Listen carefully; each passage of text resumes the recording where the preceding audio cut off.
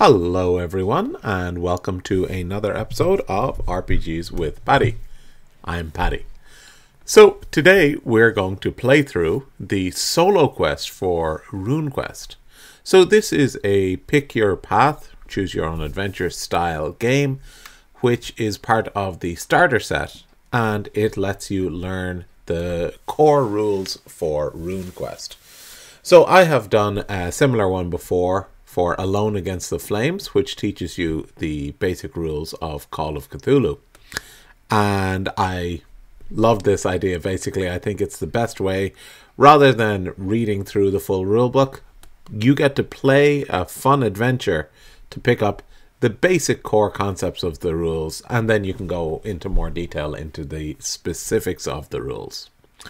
Um, I'm doing this as part of New Game Master Month, which runs all throughout January. Uh, twice a week, we get prompts uh, taking us step by step through um, the basics of different game systems, so that by the end of the month, we should be running our first game of, in this case, RuneQuest. I'm also doing uh, Trail of Cthulhu and Numenera this month as well. If you're interested in those, check out my videos uh, above. Um, there are also three other systems that you can do. Uh, Delta Green, which is excellent, and I did last year. Uh, Monster of the Week, which I'm not so familiar with, and Unknown Armies, which I actually don't know anything about. Um, everything is free on the new Game Master Month uh, website. Um, of course, you have to pay for the materials, but the, uh, for example, for the rule book for the starter set, something like that. Um, but um, the website that leads you through this course is completely free. So if you're interested in running a, a role playing game for the first time or looking into a new system, I highly recommend that. Um, if you're watching this after um, January is already over, that's okay. You can still go back. All of the posts are still there and you can still go through them in order. Uh, but some of the systems have a bit of a discount. I think the discount ends at the end of January, but I'm not 100% sure. Try it, it might work. Okay, so uh, let's get started. So today we're going to look at the solo quest. There are two ways to do this solo quest for RuneQuest. You can do it with the starter set um, PDFs, which is how I'm going to do it, or obviously the physical version. But also on their website, on the Chaosium website, they have um, they have a. a I'll show you now. Uh, so this is the uh, Chaosium website, and they have the solo quest where you can just um, click through it all. So for I'll just show you very quickly. Begin the adventure here. Oh, sorry, begin, begin. So um, this is just the introduction. We'll just skip past that. Um, this is just telling you, and again, just a little bit of intro. Um, and here we are. Here's the first entry. And then when you get to the bottom, if you passed the scan roll, click on 2. And if you failed, go to 3. Um, but for this, I will actually be um, doing it with the PDF um, because I have actually done the solo quest on the uh, website before. So this time I'm going to try it out with the PDF. Um, it's been about a year since I did it on the um, website, so I'm sure I forget everything. All right, so um, let's get started. Just one final thing just before we get started. Um, at the bottom of the page there, the sample page you saw, there was a if you pass and if you succeed. One thing that they really strongly suggested in the Call of Cthulhu starter set is don't try to just, well, you know, try your best all the time, but don't worry if you fail some rolls. Um, passing everything is not always the most fun way to play. Uh, having some successes and some failures leads to a more interesting story, generally. Okay, so uh, let's get started. Before we be, ah, no, actually, let's just get started with the intro. Uh, so this is the intro that I included in my previous video. So if you've already read that, uh, feel free to skip ahead to the next section. All the timestamps will be below. Okay, so the Battle of Dangerford is a solo adventure for RuneQuest role-playing in Glorantha.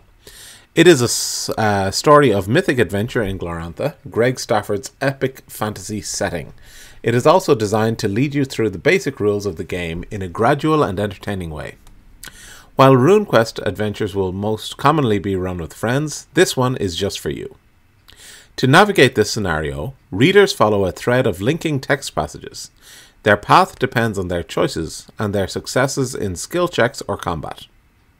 The only thing required to play this scenario are the game rules, this booklet, the adventurer sheet for Vasana and Vostor, a pencil, and a set of dice. If you have the RuneQuest starter set, then you should have uh, most of what you need, only a pencil is required. So I'll just show uh, up here, I also have the rulebook and I also have the character sheets, but I have uh, printed out the character sheets as well just to be more convenient. And we'll go through the two characters in a second. In this scenario, you take on the role of Vasana, daughter of Farnan. This formidable hero is a capable warrior, trusted leader, and dedicated initiate into the Orlanth adventurers, adventurous cult. In this adventure, she has sided with uh, Kallyr Starbrow, leader of the Sartarite rebellion against the Lunar Empire. It is God Day, Movement Week, Earth Season. Kallyr is about to lead her troops against the Lunar Empire's war leader, Fazzur Wide Wideread at a critical ford across the strategically important passage of water known simply as the creek. The sides are evenly matched, and even a single stone could shift the scales. Depending on how Vasana carries herself, she could sway the battle and change the fate of Dragon Pass. To navigate through this adventure, first read the primer sections below they provide a brief introduction to the world of Glorantha, to Dragon Pass, to Vasana, the hero of the story, and to the unique mechanics introduced for this solo scenario. To move through the scenario, read through to the end of a passage and follow the instructions at the bottom. Um, this passage will instruct you to turn to and read a certain section, depending on your on the choices you make or the result of your dice rolls. There are several potential endings to this scenario. The one you get depends on how you navigated the Battle of Dangerford. When you finish your first playthrough, consider coming back to refamiliarize yourself with the game mechanics and to search for different endings and hidden secrets. You should have a copy of Vasana's adventurer sheet on hand and a copy of that of Vostor, son of Pijim, Pijim as well. He plays a role later in the adventure. Welcome to. Uh, I'm sorry, just before I do that uh, for play ma- uh, for players and game masters. This adventure is recommended for both players and the game master and teaches the rules of RuneQuest in play. It isn't required before playing any of the adventures in Book 4, uh, but helps teach the game system and provides a first-hand look at Gloranthan cultures and customs. And I would definitely recommend having your players play through this as well. Um, or you could even like kind of read it to them as well, um, and then they make the decisions um, if you want a little bit of interaction. But I think this is really good for everyone to go through to learn the basics of the rules and to have a fun adventure as well. That's really good. Okay, welcome to Glorantha.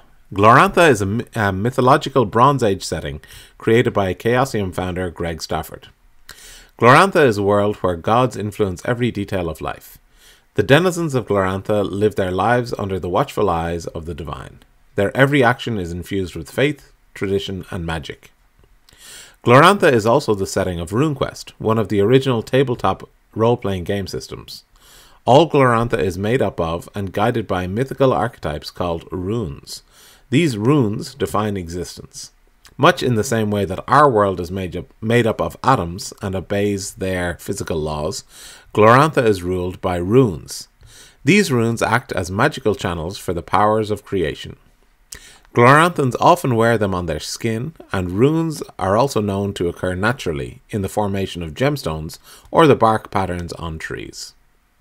Glorantha is filled with all kinds of familiar and alien fantasy creatures. Humans are joined by elves, dwarves, trolls, and many more recognizable and many more recognizable creatures. But even these familiar creatures uh, have their own Gloranthan flavor. In Glorantha, humans are less less technologically advanced than in most fantasy worlds. They live in a Bronze Age, where walled cities and sophisticated agricultural systems are few and far between. Dwarves are bizarre, ageless, metal born creatures who toil endlessly to repair the ancient world machine. Elves are plants, not animals, and are far stranger than players may be accustomed to. Alongside these different perspectives on well known tropes are humanoid. Uh, are humanoid, death worshipping ducks, uh, rhino riding nomads, and a thousand other secrets waiting for you to explore. This scenario, and even RuneQuest itself, is only the first step into your journey through Greg Stafford's world. So bolster your magic and ready your spear. Glorantha awaits.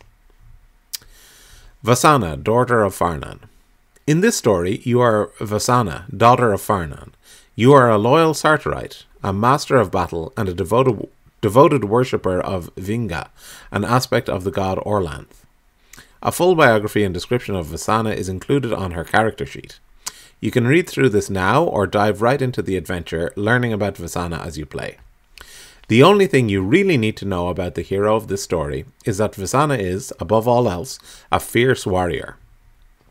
She is as skilled with the sword as she is with the lance she uses while riding her bison, Molon. Vasana also has a keen eye, represented by a high scan skill, good tactical awareness, represented by a high battle skill, and is a competent leader, represented by her high charisma and respectable orate skill. Do not worry about remembering the mechanical details for now. These are explained to you throughout the adventure itself. Keep in mind a general understanding of this proud warrior, and you should be able to navigate the upcoming battle successfully and help determine the fate of Sartar and potentially all of Dragon Pass. During the Battle of Dangerford, Vasana will undoubtedly be injured and will undoubtedly injure other people. In RuneQuest, whenever damage is dealt to a creature, it strikes a specific hit location, such as an arm, head, or wing. The damage is reduced by the armor of that hit location unless otherwise specified, and it is then applied to both the hit point the hit location's hit points and to the total hit points of the affected creature. Damage in RuneQuest can be incredibly dangerous. It can lead to scars, missing limbs, unconsciousness, and even instant death. For this scenario, the mechanics have been simplified to a few key conditions while still keeping the deadly heart of RuneQuest combat intact. Unconscious. When Vasana's total hit points are reduced to 1 or 2, she falls unconscious. While unconscious, she is vulnerable to enemy attacks. Unless someone comes to her aid, she will be swiftly captured or killed. Compromised. If any of Vasana's limbs are reduced to 0 hit points, they are considered compromised. An arm so compromised cannot wield an item, and anything it carried is dropped. If a leg or abdomen are compromised, Vasana drops prone. She cannot do anything else that round. Attacks she makes are at half their normal success uh, chance, and attacks against her increase uh, their success chance by 40%. If Vasana's head or chest hit locations are compromised, she immediately falls unconscious. Dead. If Asana's total hit points are ever reduced to zero, she dies. So this is really in stark contrast to some uh, fantasy games like um, Dungeons and Dragons, where being reduced to certainly fifth edition, being reduced to zero hit points is not the end. It's uh, it's actually very very difficult for a player character to die in Dungeons and Dragons, but it's a serious possibility here and I think that makes it more important. Uh, if there's nothing to risk, for example, in, in Dungeons and Dragons Fifth Edition, then you know I'm I'm going to win anyway. What's what's the what's the risk? What's the chance? But here you have a chance not only of failure, but of actually your character dying permanently. Healthy. As long as none of the previous criteria are met, Vasana is able to continue fighting and is considered healthy, even if she has bandaged wounds, bruises, aches, etc. In RuneQuest, successful use of abilities merits the chance for experience and improvement. Throughout this adventure, you will make uh, many rolls for Vasana's skills, passions, and other abilities. On a successful roll, check the experience box next to the ability if one exists. If there is no box, the ability cannot be increased through experience. If the ability is already checked, do not check it again. See the experience for more information, that's fine. Um, so I'll just show you very quickly what that means. So uh, here are her skills and her passions. So for example, if I have a Ride bison, uh, check, like that comes up. Uh, in the adventure, it will say, do a ride bison check. Then I will roll my dice, uh, trying, and I'll get a number between 1 and 100. If I get 70 or lower, that means I succeeded in that, and I would tick this box. Okay, well, I can't take it, but uh, I have the physical one here, so I would just tick that box, marking that I have succeeded in it. Um, if you don't succeed in it, that's fine. You don't have to mark the box. But um, then if I succeed in it at another point, I can mark the box. You will only ever mark the box once uh, between sessions anyway. Um, so for this whole uh, solo adventure, you would only ever mark anything once. Um, that just means that I tried something and I succeeded at it, so I have a chance to um, improve next time. Or to improve uh, after the scenario. For this scenario, Vasana's impact on the Battle of Dangerford is measured using a tally. Rather than dealing damage to one of the hundreds of warriors on the lunar side and tracking the individual blows, wounds, or other minutiae, the battle result total, BRT, is a general guide for Vasana's effect on the enormous conflict. At the end of the scenario, Vasana's BRT will determine the battle's outcome, and she will be rewarded accordingly. Some actions, while strategically efficient, will break the traditional rules of engagement. You must balance your ability to keep tradition, preserve Vasana's all important honor value, and manage the practical aspects of the combat ahead. Take a brief look at Vasana's adventurer sheet and ensure that you have all the required materials to play, like a pencil, paper, and dice. When you are ready, begin. Okay, so um, that is all of the introductory information. Uh, just very, very quickly, I won't go through everything, but just looking uh, at her sheet, here is some background information. Uh, you can read that if you want. Uh, I'm going to just go through it exploring the character, and I already know her a little bit. Um, but here are some key points here as well. How to play Vasana. You are a natural born leader with a charisma 19 take charge. So that should be a role playing hint for me. You have strong passions hate, uh, you hate the Lunar Empire, devotion to Orlanth, the god, honor, and your loyalties. Use them when appropriate to augment your skills. Don't worry, that will come up as relevant. Your high death rune makes you a warrior ascetic. You ignore pain uh, and pleasure. Your high air rune makes you passionate, proud, and violent. So um, over on this side here, you can see my elemental uh, affinities. So um, air is strong. Um, I don't know where death is actually. Oh, there's death. Um, yep. Not so sure what they mean, but uh, this is just telling me because my death rune is strong, I'm a good warrior. Uh, because my air rune uh, is strong. I'm passionate, proud, and violent. Your lance attack while riding your bisons can do huge amounts of damage, but you are better on the defensive when you use your sword.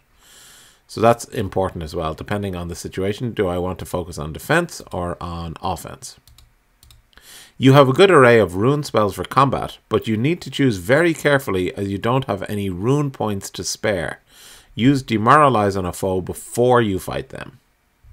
Okay, um, so then down here we have my basic statistics, and here are my weapon attacks, for example.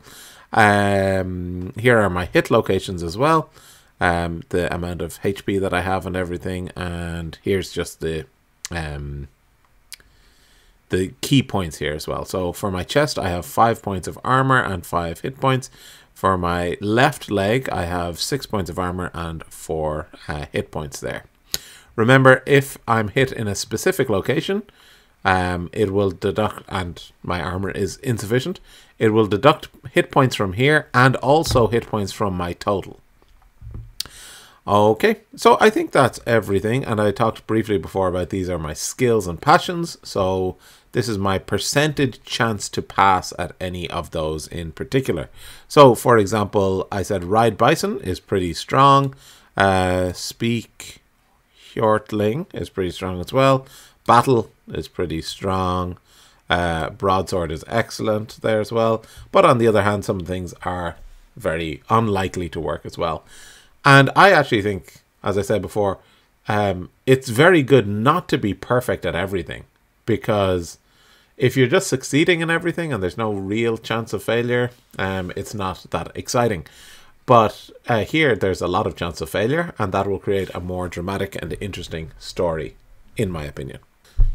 Okay, so let's get started. Just before you start, I would recommend getting a spare blank sheet of paper just to track the entries that you go to. Um, sometimes you can think, oh, it said go to 29, but then when you get to 29, it's not making sense, and actually it was 39. Uh, so it's always good just to keep track of where you were in case you make a mistake or you get distracted and you need to come back and find out where I was.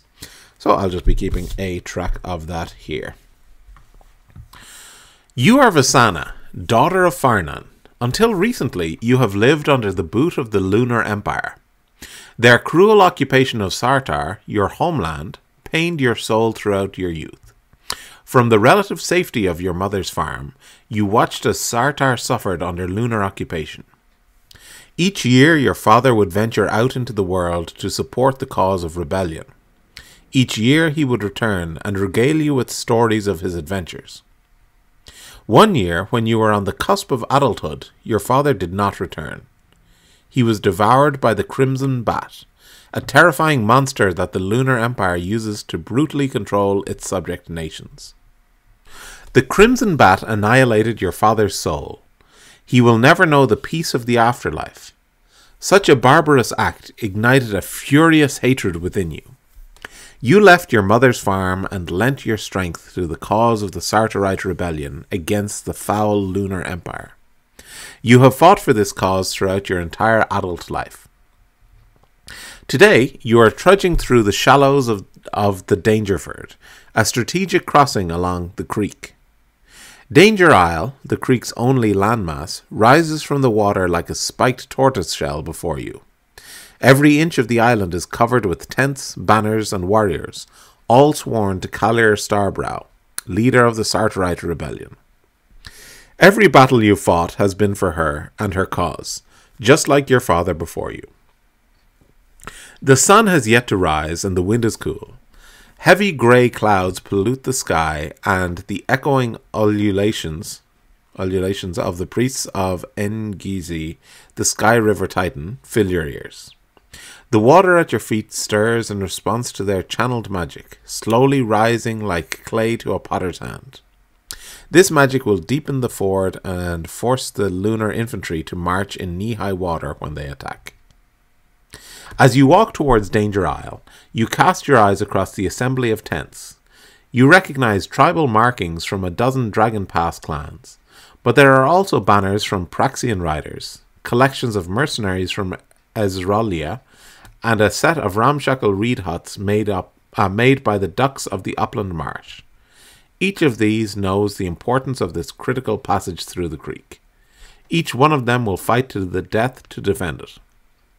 With such a host of warriors assembled, how can the Lunar Empire possibly think they can win?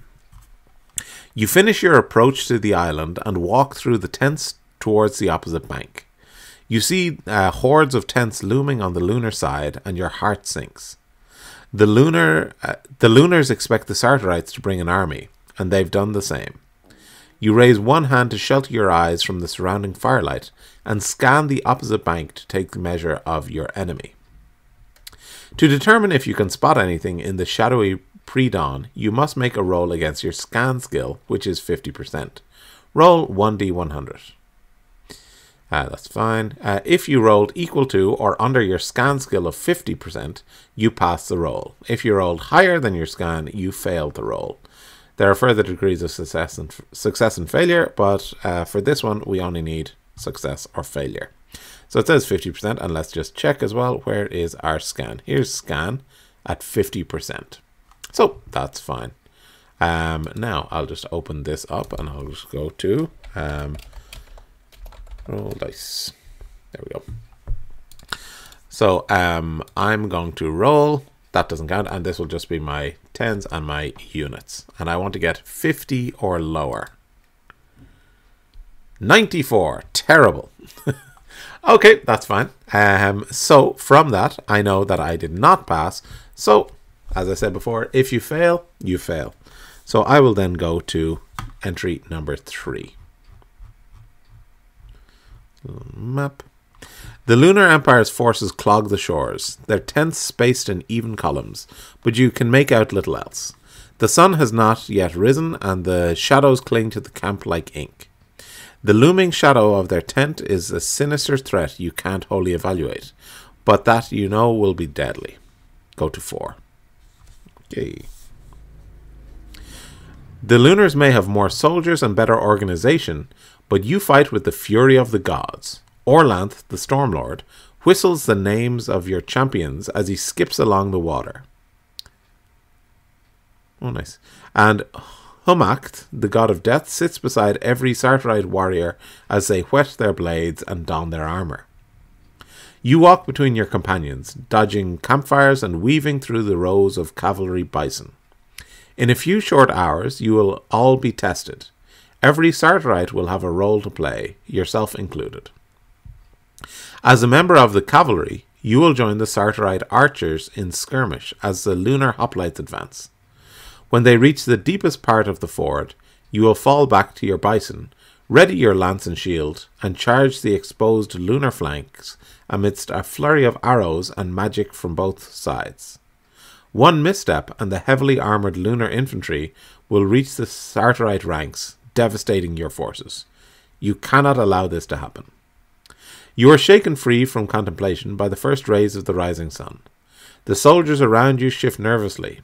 When the sun is free of the land, the battle will begin. But for now, the fog lingers. War waits patiently. You have a short time before dawn fully breaks, and you will not rest. Instead, you look to the camp and prepare for battle. You may now pay your respects to your ancestors and the gods, meet with Kallyr Starbrow, the Sartarite leader, tend to your bison mount, ford the river and scout the enemy camp, head to the battlefield early and ready yourself. It's a good question. Um, ooh, what should I do? What I'm going to do is I'm going to go and make sure everything's okay with my mount. So I'm going to go to 15. You decide to tend to your own affairs and cross the camp towards the makeshift animal pens. As you approach, the howls, whinnies, and smells of a dozen different species greet you. There are many beast riders within the Sartarite army, and only some of them ride horses. Bison, llama, zebra, and all manner of animal are ridden throughout Glorantha.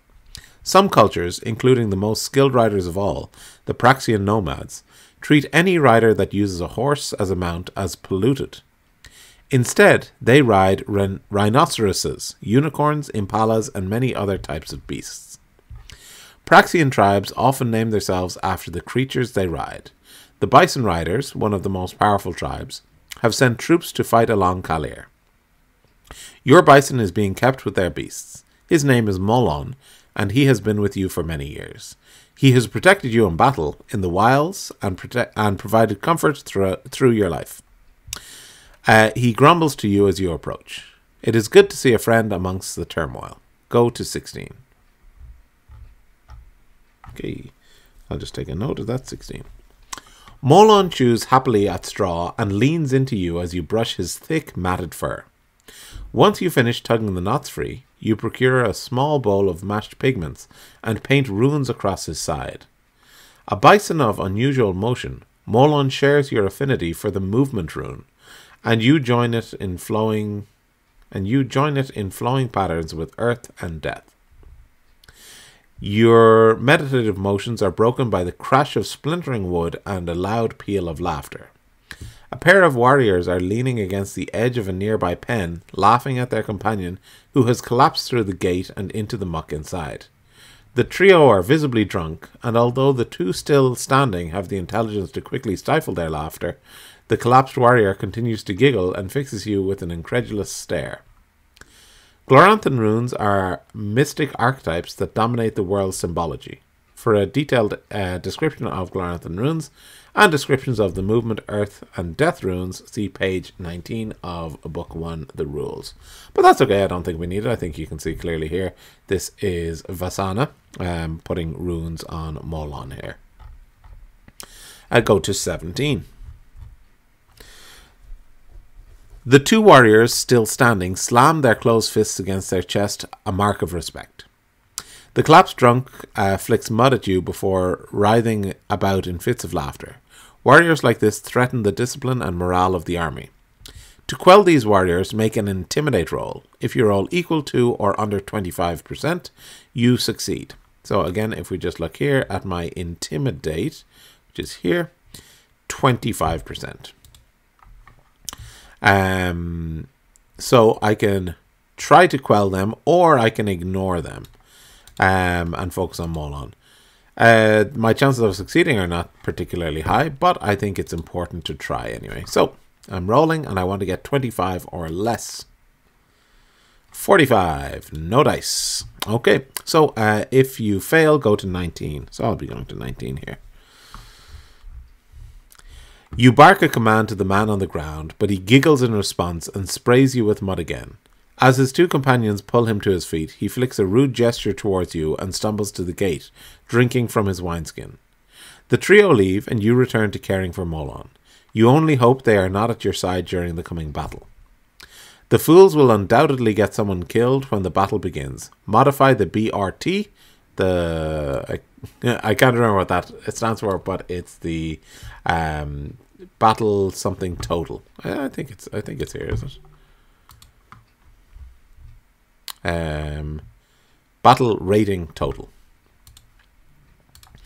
Uh, so that's going to hurt me at the end. So I'll just have a quick note of that there. BRT minus 2. So um, if you're playing on this, um, there you go. You can just add it in there. So minus 2. But uh, of course, I'm just playing the manual version. So minus 2. But that's not good.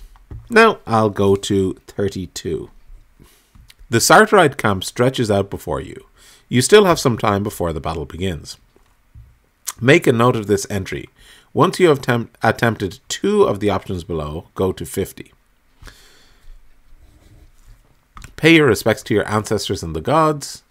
Meet with Kallyr Starbrow. Um, tend to your bison. Uh, ford the river and scout the enemy camp. You may also leave the camp early and prepare yourself at the battlefield. So this is essentially the same option that I had at number four, but I think what they want is that you can choose two options from here. Um, but I've already done 15. I think it means that I can still do two more things. Um, I, I think so. That's what I'm going to do. Um, anyway, it will be fine. Um, again, there's potential positives and potential negatives, so I think it rules itself out. It evens itself out. So uh, I am going to go to 33 anyway, and I'm going to um, pay some respects to the ancestors and the gods. In Glorantha, the gods are all important. There is a vast pantheon of beings that make up the world, and every living creature within it is uh, connected to them. They are the source of all strength and weakness in Glorantha. They both hold the world together and create all the conflict within it. Some gods are worshipped as the patrons of tribes and clans. Others are personal deities and guardian spirits. Although most people are dedicated to a single deity, all the gods are acknowledged and worshipped when appropriate. You, Vasana, worship Orlanth, the storm god. More specifically, you are devoted to the female aspect of Orlanth, called Vinga. When Orlanth takes the form of Vinga, she embodies his trademark courage, strength, heroism, and a strong feminine aspect.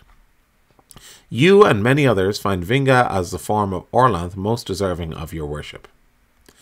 Glorantha is a, a, mythological setting, and the worship and identity of the various gods is its defining aspect. Vasana worships Vinga, but you, in your adventures through Glorantha, will create your own adventurers with their own relationships to the innumerable gods. Vinga desi- desires your worship. She may offer you protection in battle if you pray to her. You head towards the makeshift temples on the edge of the island. Go to 34.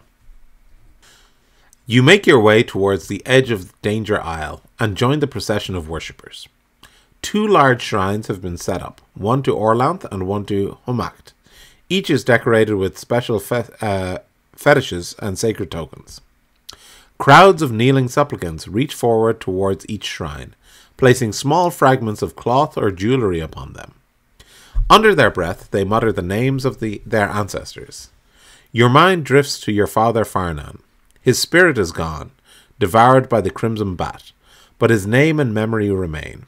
If you can stand against the lunar empire this day, then you will have honored the name of your father and his memory. Go to 35.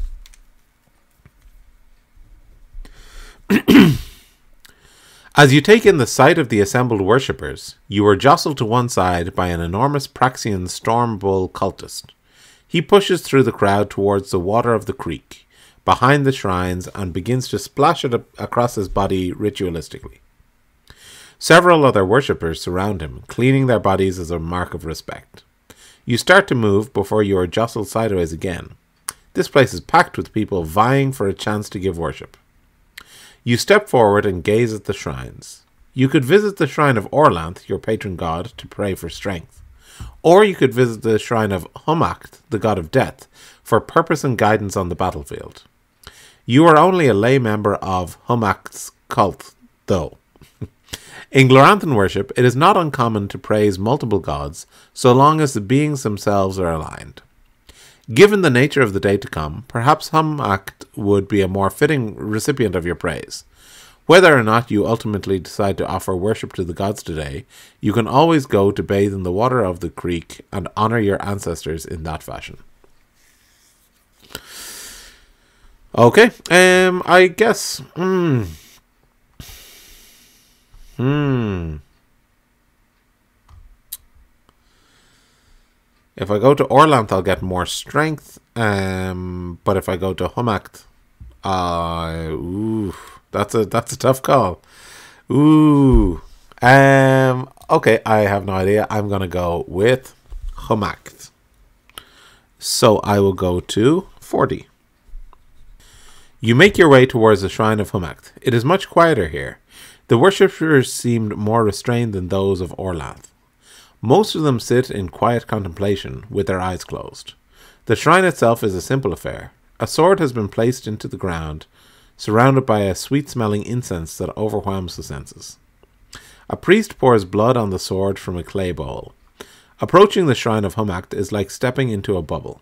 It is as if the sound from the rest of the camp grows quieter upon your approach.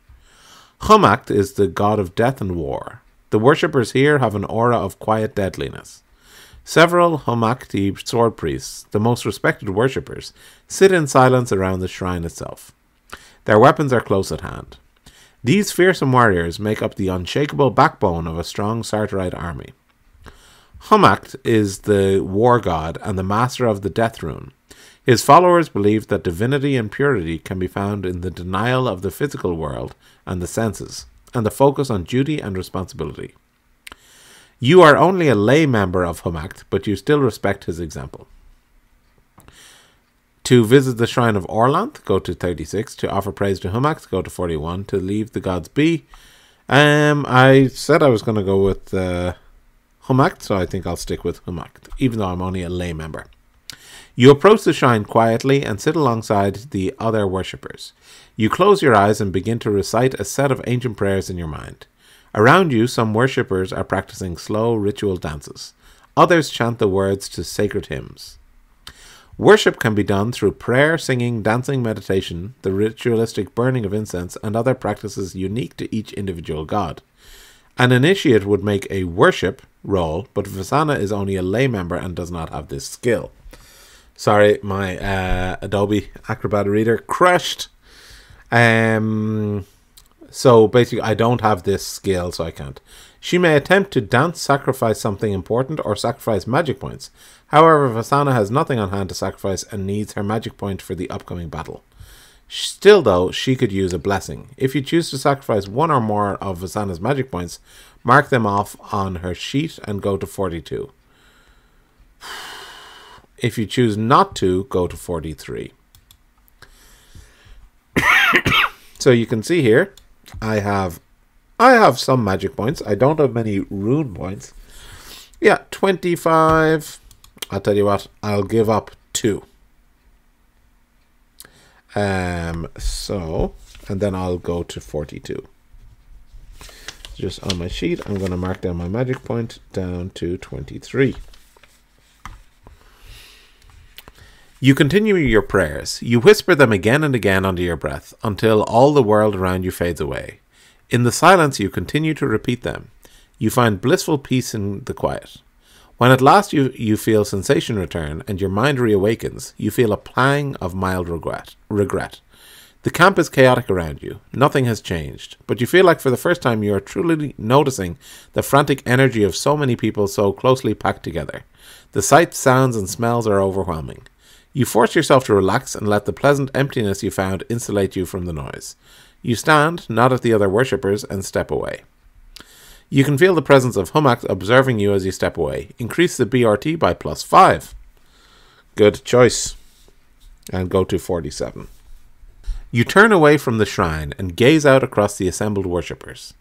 The creek gurgles away nearby, filled with worshippers offering thanks to their ancestors. To wade into the river and give praise to your ancestors, go to 44. To make your way back to camp, go to 32. 44, yeah, I'll give uh, worship to my ancestors, all right. 44. 44. You step past the shrines and move towards the water. Crude clay and terracotta statues of people have been placed on the banks. You step into the shallows and kneel. As you splash water across your face, you take the time to think of those who came before you, your all important ancestors. Those who defined your birth and inspired the struggles and boons you inherited. To some extent, you shared these ancestors with all those around you. Even those who are not linked to you by blood have shown honor to your heritage by standing alongside the forces of Sartar this day. So, just who are your ancestors? You are Orlanthi. Your people came to Sartar and Dragon Pass many years ago from Heortland. Since settling here, you have fought off pursuers from the Old Country, raiders from the East, and lunar occupiers. Yours is a heritage of fighting for freedom. Though others may call you barbarians, you know in truth that you are the loyal and passionate servants of Orlanth. But what of your more recent ancestors? Your father, father Farnan was a great warrior. He was a champion of Starbrow's rebellion, and he fought bravely in the name of Orlanth. Your mother, a farmer, tended a large farm in Dragon Pass. Each year you would watch your father leave and wait anxiously for his return while you helped your mother tend to the crops. One year he did not come home. You would come to learn that, that he had been slain by the Lunar Empire. This tragedy would be made all the worse when you discovered that he had been consumed by the Crimson Bat. His very soul was destroyed by that terrible lunar living weapon. You were devastated, but above all, you were angry. You left your mother's farm behind, despite her protest, to join the fight against the Lunar Empire. Today, you will honor your father's memory, your mother's suffering, and the history of all your ancestors. As you consider those who came before you, and the sense, uh, and the battle and sorry, as you consider those who came before you, and the battles and legacy that led you here this day, you feel a sense of peace come over you. Although your ancestors do, do not grant you magical protection in combat the way the gods do, their presence is of significant cultural importance. You feel a sense of pride and strength. To offer worship, um, to learn more about the Crimson Bat. Ooh, I'm going to um, offer worship. You stand by in contemplation. It is not long before the memories of your ancestors turn to voices in your head. You take a deep breath and feel the heritage and legacy of your people wash over you. A thousand voices echo through your mind. In particular, though, your father's is missing. But your other ancestors comfort you in his stead. When you finally open your eyes, you can feel endless generations of those before you watching through them. You spend a moment in the river enjoying the sensation, then step back. You will honor your forebears today. Go to 48. It is time to go. As you slip through the crowds of worshippers, you hear a soft word spoken to you. You glance up and spot a high priestess of Ernalda, the goddess of earth and fertility, nodding at you in approval. She clearly respects your piety and your connection to the gods. You smile back, then continue on your way. You leave the gathered worshippers and make your way back to the center of the Sartarite camp. go to 32. Okay, so now we're going to go back to 32, which we were at before.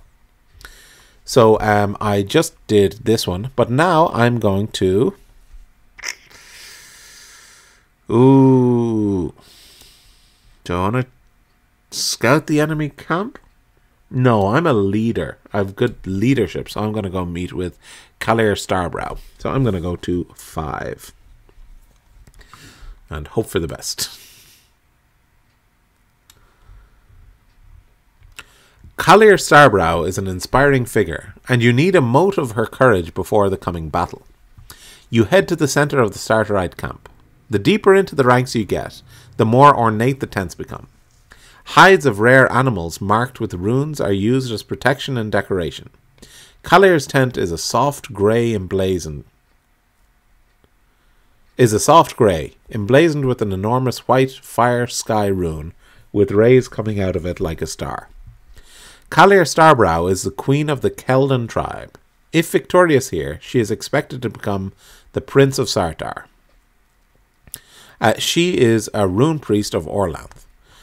Her completion of a sacred hero quest, a journey into the magical underworld, earned her powers from the pole star, the star god at the center of the sky, uh, of the sky dome that only Kallyr seems to truly understand. This gift marked her permanently with a star engraved on her forehead and the title Starbrow. Kallyr is a fierce warrior, famed for her temper and the strong hold she has over her warriors. For a dozen years she has fought in rebellion she has fought in rebellion against the Empire. As you approach the command tent, you hear her powerful voice booming from within, directed at some hapless warrior. You catch a few choice words, then his hurried apology as he scurries off to fix whatever mistake he made. Two guards flank the entrance to the tent. As you approach, they cross their spears firmly. These are elite bodyguards, followers of Humakt and marked with death runes. One shakes her head and explains, Only critical visitors may see the pole star before the battle. Gloranthan runes are uh, mystic archetypes which dominate the world's symbology. For a detailed description of runes, go to here. To convince the guards of Vasana's importance, you must make a charisma roll. First, multiply Vasana's charisma, 19, by 5. The result, 95, is then the target you must roll equal to or under, like a skill. So, hopefully, I should be able to roll 95 or lower.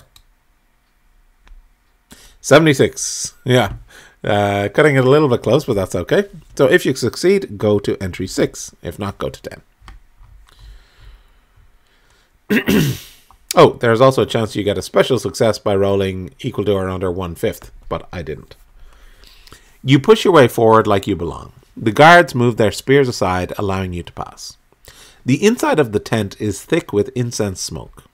Elite warriors, marked with ritual tattoos, bearing brutal scars, and wielding wicked weapons, pace along the walls or engage in quiet conversation.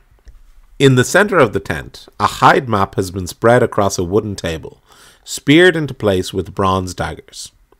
Kallyr Starbrow stands at the head of the table, commanding the attention of three veteran warriors. She draws a line across the map with her finger, explaining strategy. Disturbed by the gust of wind that entered with you, Kallyr looks up and fixes you with a stern, measuring gaze. She frowns. The charisma roll was against a characteristic rather than a skill, so you do not check it for improvement. Kallyr is a, is a famous warrior who encounters dozens of heroes each day. To see if she recognizes you, make a reputation roll. This is handled like a skill roll, but is in a different place on Vasana's adventure sheet.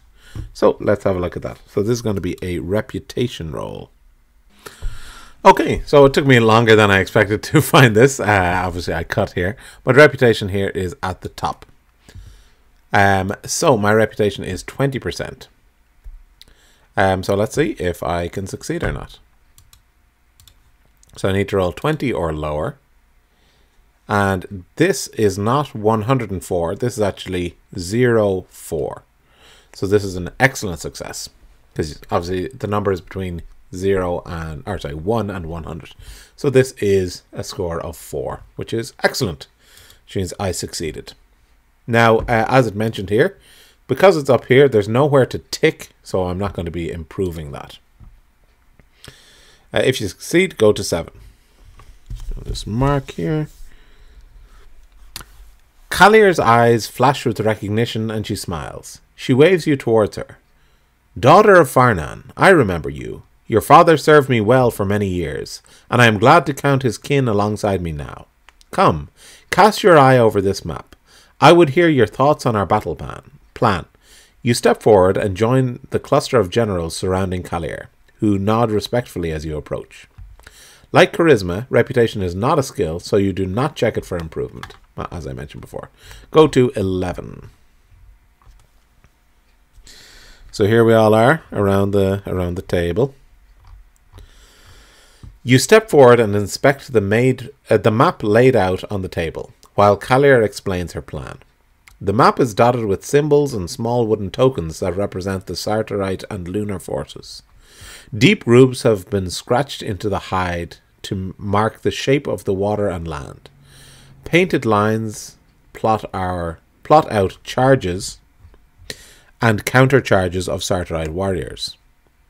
You will find your own station uh, sorry, you find your own station on the western flank, where you will volley with the archers. Once the lunar infantry enter the deepest part of the ford, you will join the cavalry and charge them while they are vulnerable. Kallyr herself will charge at the same time you do, from the eastern flank. If all goes well, you will meet her again in the centre of the battle. As you run through uh, the conflict in your mind, you think you find a flaw in the plan. The Sartarite cavalry charge will decimate the lunar infantry, but when the lunar cavalry joins the fray, you will be greatly outnumbered. To judge the plan and voice Vasana's uh, concerns, make a battle roll. If you roll equal to or under 65, she succeeds. Go to 12. If you fail, go to 13. If she trusts in her leaders and instead offers respect, go to 14. So um, this is an interesting one as well. Uh, so obviously respect is very important, and these are definitely my superiors. Um, but uh, I might be able to find a flaw in it. And with a battle roll of 65, I think I've got a fairly decent chance of uh, succeeding. So I'm going to go for that. I want to get 65 or lower. Oh, wow, great.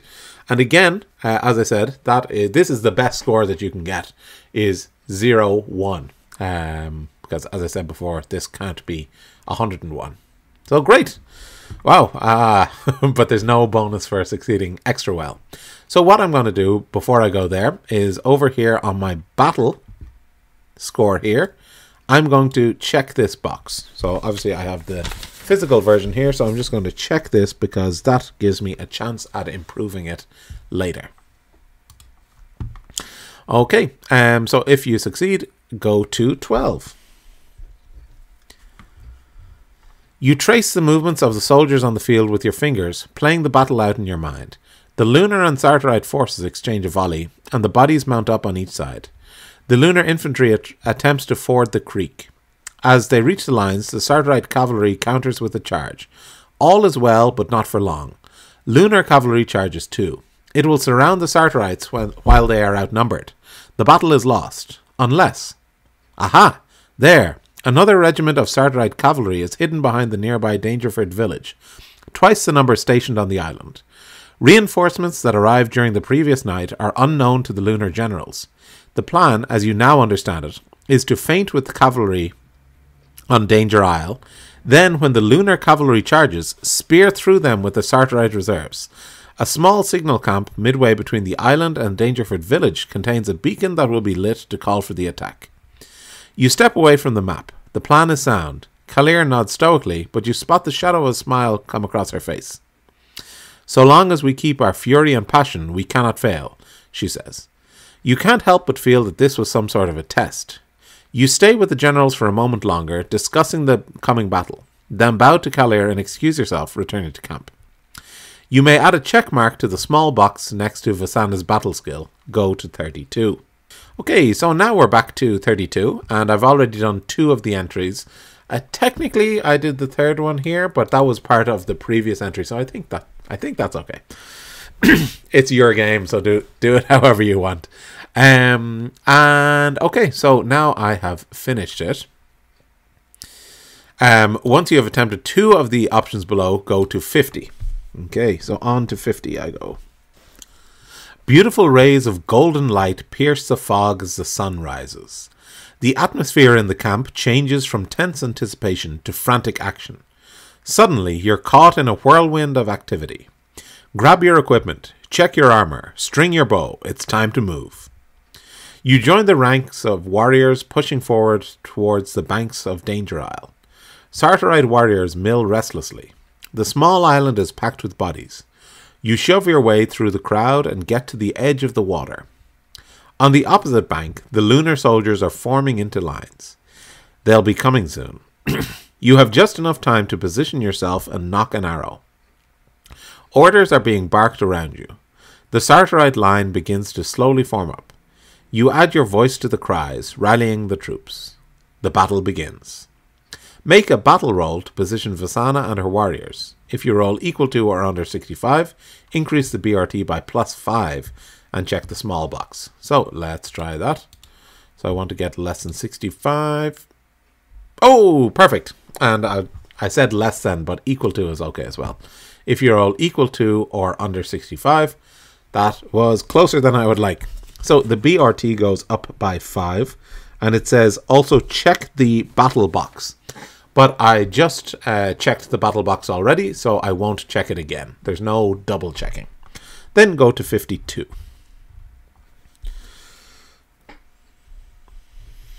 Okay. War horns sound on both sides. Sartarite and lunar troops alike pull upon their bowstrings and raise their javelins. As is tradition toward, uh, uh, as is tradition throughout Glorantha, battle begins with an exchange of ranged weapon attacks and magic. Sometimes these minor exchanges are terrifying enough to end battles early and avoid additional loss of life. Unfortunately, the stakes are too high on both sides. Today, the battle will go much further. This skirmish will only whittle down each side. So there's her war tent that we were at earlier. Uh, oh, it's still going. Your task is to remain in the skirmish as long as possible, firing missiles towards the marching lunar infantry. Once they have advanced into the water, you will break away from the lines to find Molon, your bison, and join the charge. Go to 53. The lunar infantry marches. You stand in line with your fellow warriors. Their presence comforts you. You draw your strength from your faith in their ability to fight beside you. Today, the Sartarites push back against the Lunar Empire. Today, your loyalty will be tested. Today, you will win. In RuneQuest, heroes define themselves through their passions, which reflect their relationships with the world and the factions within it, such as their tribe, family, and friends. Passions can also be used to fuel action. If you wish, Vasana may draw inspiration from her loyalty, Sartar, uh, passion, to augment one of her skills for the skirmish. Choose a single skill to augment.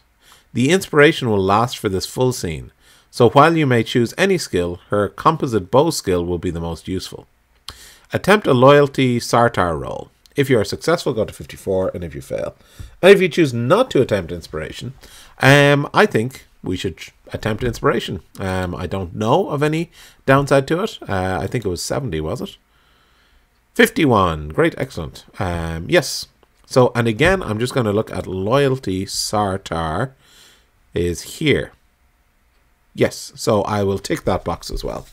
Just ticking it in the physical version so that I have a chance to improve it. I'm sure it'll tell me in the book to do that as well. Uh, if you're successful, go to 54.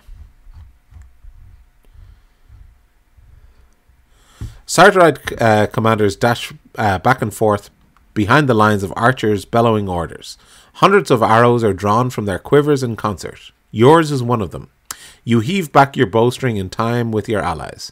Let the enemy come.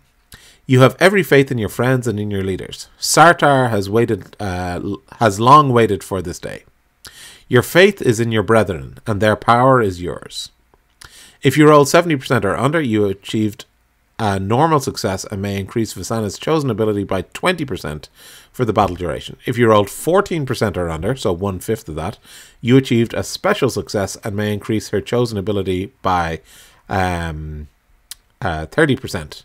If you rolled 4% or under, uh, which I think is a 120th, 120th rounded up. Is that right? Yeah. Um, you achieved a critical success and may uh, increase her chosen ability by plus 50% for the uh, battle duration. You may check mark the small box next to her loyalty. The scenario will alert you when Vasana's passion fades. So I just got a regular success. I'm in 54 at the moment. I got a regular success. So my composite bow was my chosen one. So uh, just looking over here, I'll show you my weapons. They said composite bow is the best one to add. So my current is 45, but actually I'll be at 65% for this. Okay, go to 57.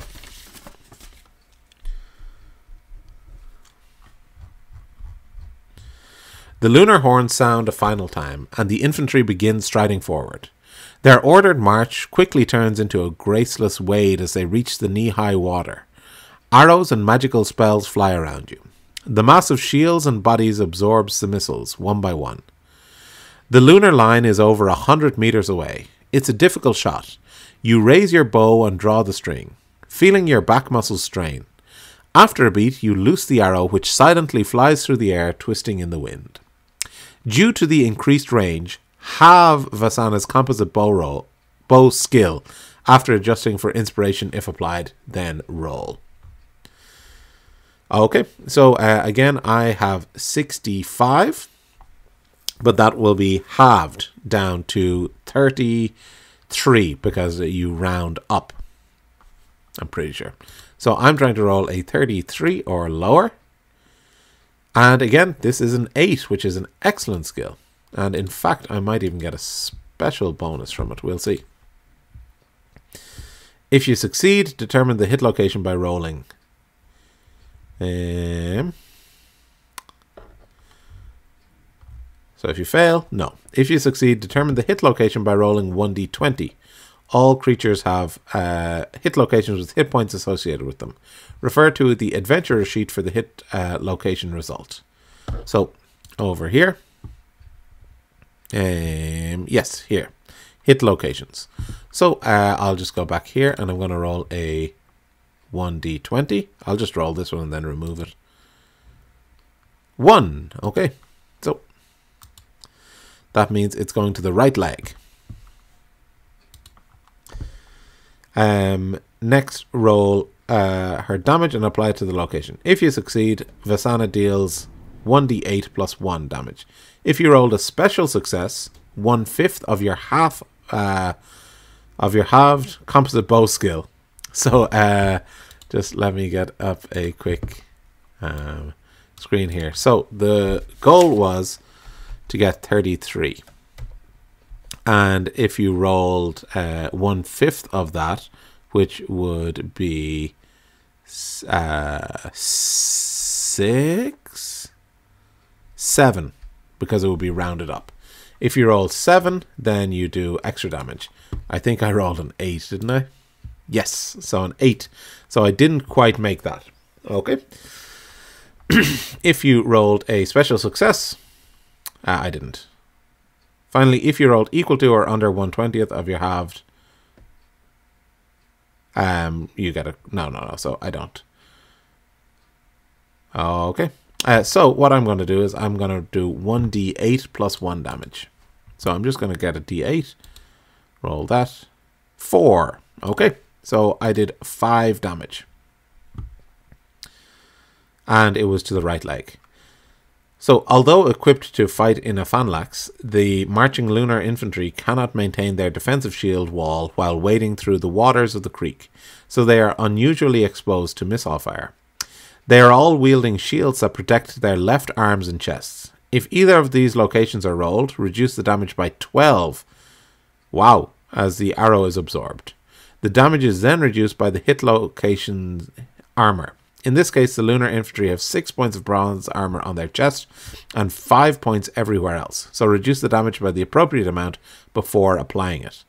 It is difficult to penetrate a shield and heavy armor with a normal success with arrow fire. So I managed to get five points of damage, but they have five points of armor, so there was no damage. Wow, a lot of uh, math for nothing in the end. if you overwhelm their armor and deal damage, increase the BRT by plus five. I was one point away from it. And if I had uh, rolled my uh, composite bow one point lower, I would have got double the damage anyway. But uh, if you reduce the hit points in the affected location to zero or lower, ah, sorry, sorry. If you reduce the hit points in the affected location, increase the BRT by plus ten. So I'll just check here. Yeah, no, that's fine.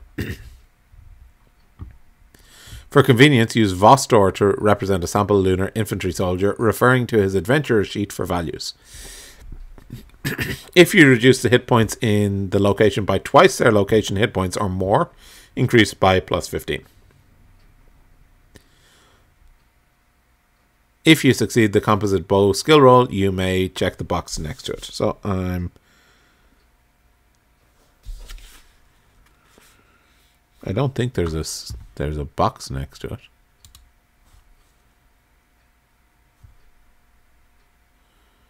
Communication. Okay. So um, I'm going to check this and I'll leave a note here when I find out what the answer is.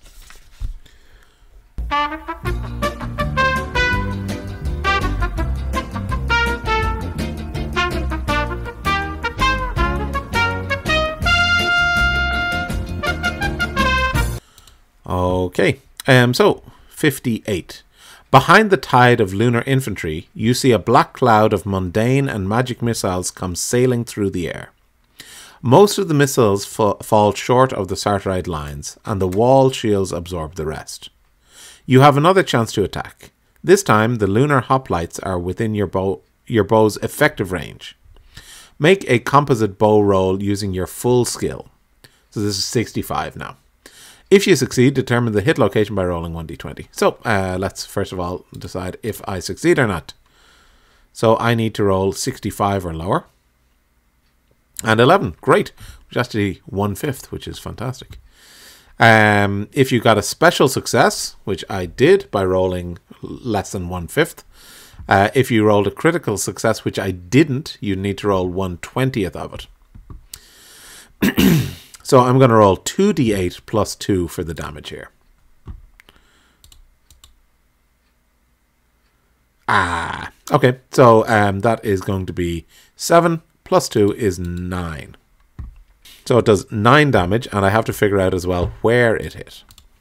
So roll a 1d20, and it hit in, I believe, the same location, the right leg. Yep, right leg for 9 damage. So the damage is reduced by 4. Sorry, the damage is reduced by 5 to 4. Um, if you overwhelm their armor and deal damage, increase the BRT by plus 5. Um, so I, they said, um, check out Vostor. So we're going to look at his um, right leg. His right leg has six hit points. So I wasn't able to defeat it. Um, yeah, that's fine.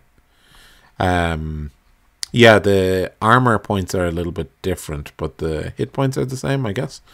Um, so I didn't get it to zero or lower, but I did manage to hit it. So I'll add plus five to the BRT. And if you succeed at with the composite bow skill, you may check the box next to it. This does not apply if the skill is already checked. Um, so I've already checked that, um, so there's no need to. Before the lunar archers can return fire, a voice howls, Shields! Now! You stow your bow and pull your medium shield. Uh, pull up your medium shield. The hoplites are close, and as the lunar missiles take flight once more, you retreat. It's time to mount your bison and charge. Arrows fall around you and the other riders as you retreat. Several of your companions are struck. They stagger forward or collapse entirely. Vasana cannot parry a ranged attack using her shield, but wielding it protects two locations her left shield arm and another location of your choosing. Choose one other location to protect. It could be her right leg or left leg, abdomen, chest, right arm, or her head. so I'm. I'll just go. Sorry, back up to Vasana. Um, because my head. Ooh, can I do my abdomen? I can do my abdomen, but let's just see. Yeah, I think I'm going to go abdomen. Okay, I'm choosing my abdomen. Oh, sorry, I skipped a few. 58. Yeah, we did 58 and 59, sorry. Um, so now I'm going to go to 60. you dart this way and that, dodging between fallen combatants. Moments before you disappear between the row of tents, the final volley finds you. Three arrows fly towards you, each with a 50% chance to hit. Roll three times to determine how many arrows hit. Determine the hit location for each attack by rolling 1d20 and referring to the adventure sheet. So, um, let's find out. So I guess I'll leave this here. Um, so this is the roll, and if it's 50% or lower, it's going to hit me and in this location. So that's a miss because it's 64. The second arrow is a hit, and it's going to be to 16. And the final one is a two. And that is going to be 9. And, um, yeah, wow. So if we look at um, 50 divided by 20 is going to give us a 2.5. So this is actually, um, I can't remember the uh, saying, but it's an extreme success. So, uh, oh, and sorry, that was to my number nine. So we'll find out about that. Ooh, okay. So each roll of 50% or lower succeeds, uh, dealing 1d8 plus 1. So that first hit is going to do 1d8 plus 1. Um, and then each roll of 3% or lower is a critical success. Not only does the ta- attack impale, um, but the maximum damage is dealt 18 points and it bypasses all armor.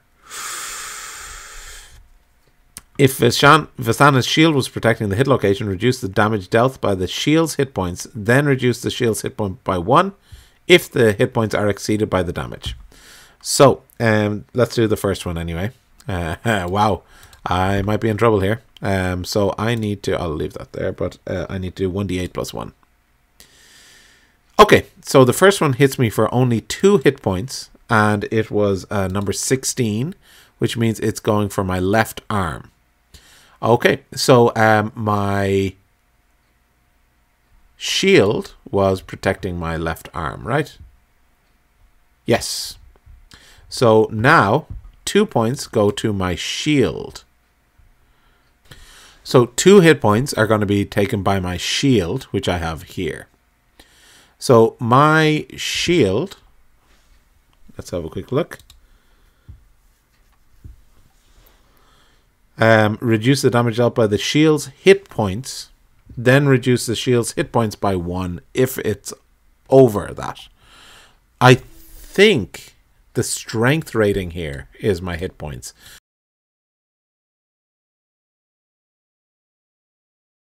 So two doesn't exceed that, so that's fine.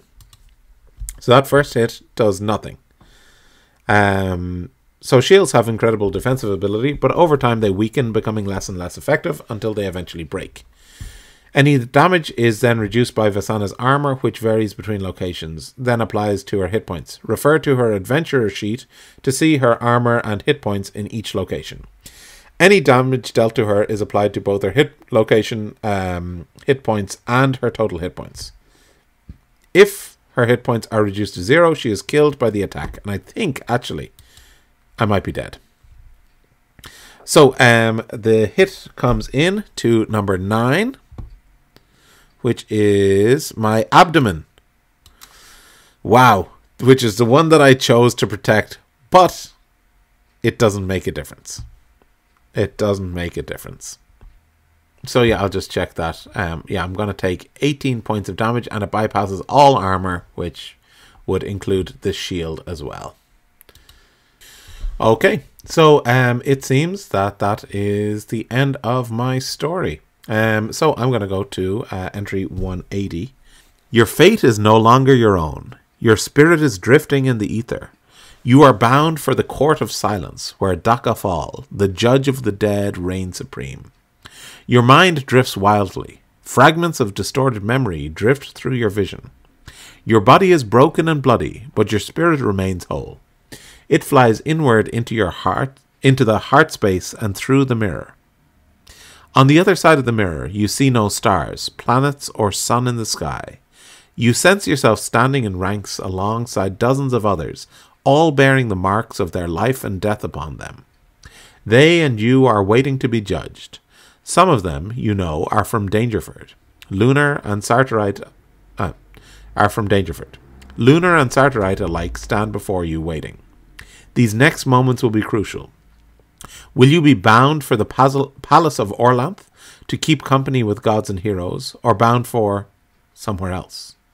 Ahead of you, a shadowy cloaked figure looms high. Daka Fal. Two faceless creatures sit at his side. They watch you from on high. They call you forward. 181. You step forward. A great sense of peace washes over you. There's no more need to struggle, no more need to fight. A moment before your footsteps take you into the gaze of the great God, you feel an agonizing pain shoot through your body. Suddenly you are gazing out of half-lidded eyes at the face of a Chalana Arroy healer. They are trying to bring you back to life with magic. No, no, not now. You are about to find peace. You are about to rest. You lash out blindly at the healer before you. Your spirit is in turmoil. The healer's eyes flash with magic. She stands tall, prepared to drag you back to the land of the living. Go to 182. The world around you is still blurry and unfocused. You see shadowy shapes all around you. Perhaps they are locked in battle. Perhaps they are merely standing by, watching. Regardless, you surge forward, your spirit locked in, in implacable fury. It is time to fight for your death. Spirit combat is not like regular combat. Instead of doing battle with swords, shields, and spears, those locked in spirit combat use the power of their will to drain each, other, each other's strength. When the resurrection spell is cast, the spirit of the dead comes back enraged and must be defeated in spirit combat before it can be returned to its body. While Vasana will now fight with all her might, only in defeat can she possibly be healed. In spirit combat, both participants make an opposed roll, using the spirit combat skill. The winner rolls their spirit combat damage, in Vasana's case 1d6 plus 3, which reduces the loser's magic points. This continues round after round. When one combatant reaches zero magic points, they fall unconscious and cannot continue. Vasana's opponent currently has 14 magic points, Spirit Combat 90%, and also does 1d6 plus 3 Spirit Combat damage. Finally, they have 3 points of Spirit Armor from a defensive spell they have cast, reducing Spirit Combat damage by 3 points per attack. So here we are in the rules booklet, and it shows basically, well, there's some other information there that we've already kind of covered, um, but basically the Spirit Combat skill is used for attack and defense in Spirit Combat as an opposed resolution of the combatant's skills. So uh, either there will be a winner and a loser, uh, there will be a tie, or there will be two losers. So both of us will roll, and depending on the level of success that we get, um, there will be a winner and a loser. So I'm just going to take a quick memo of uh, these points here. So um, so Vasana will do 1d6 plus 3 and then minus 3. Um, and she has 23 magic points. I started with 25 magic points, but I gave up two of them to um, to worship um, Hermast. I don't think that's right. Um, and then the opponent uh, does 1d6 plus 3. Um, and there's no armor affecting me. And she, or he, I think it was a priestess, she currently has 14 hit points. She has a 90% chance of success, whereas I, let's see if I can find my spirit.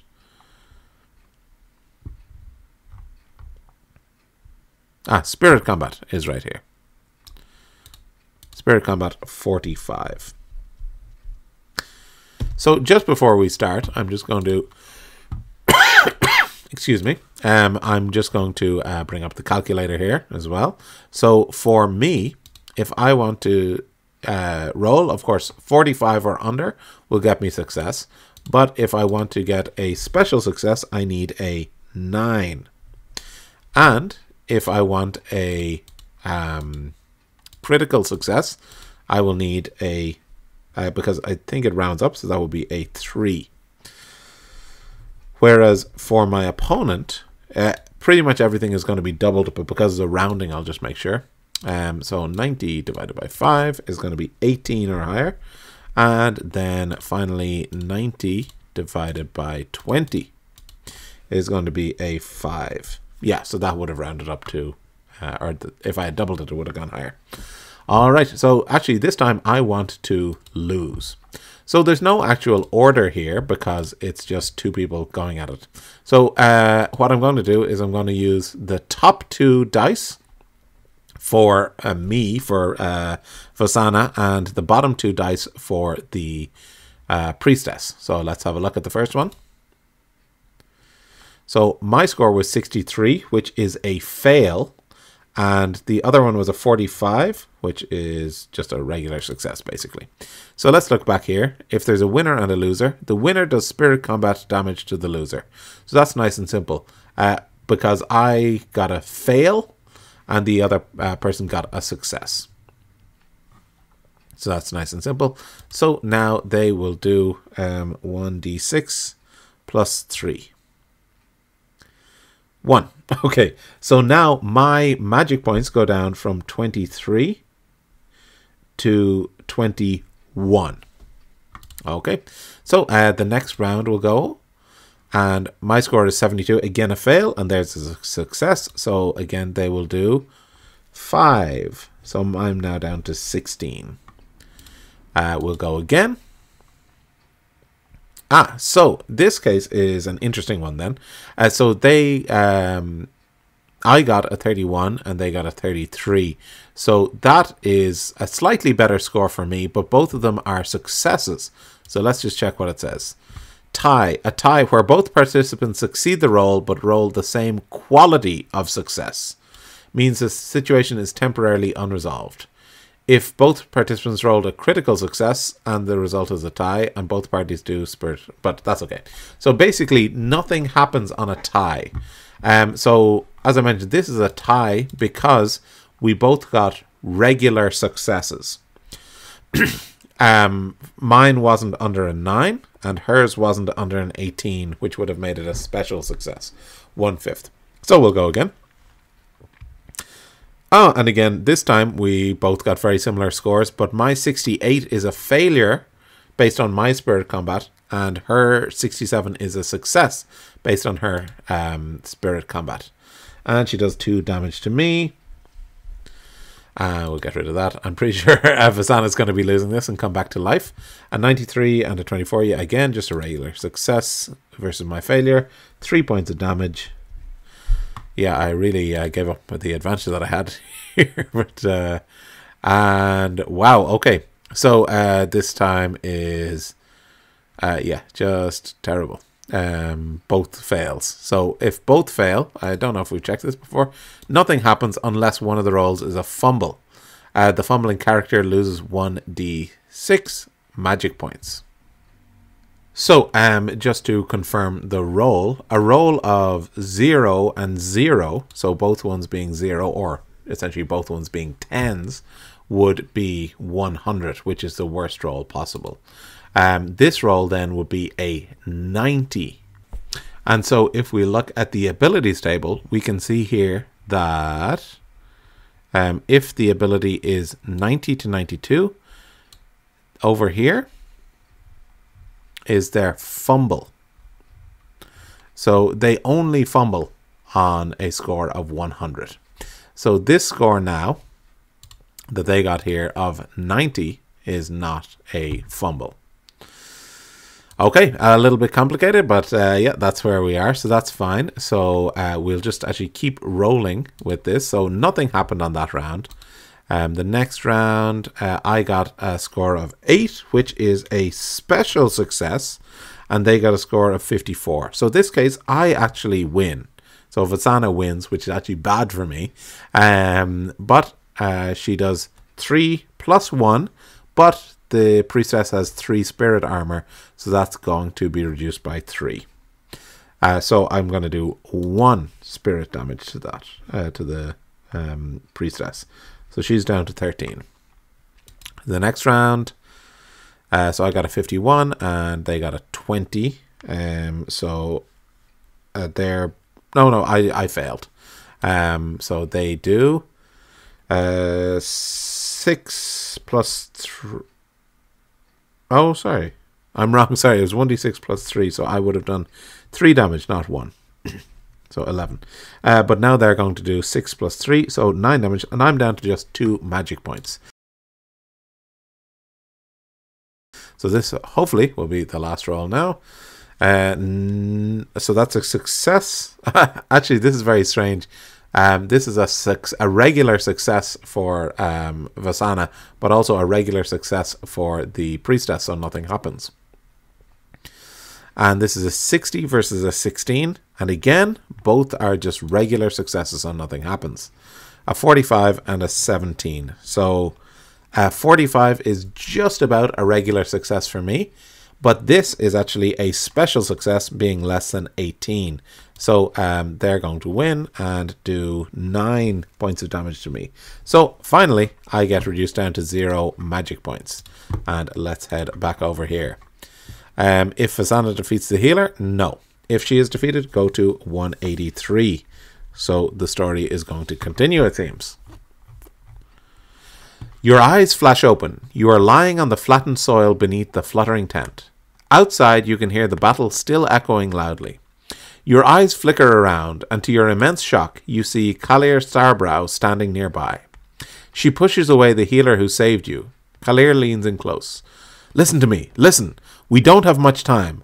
I brought you back because we need a champion, and we need one now. South of Danger Isle, there is a signal camp.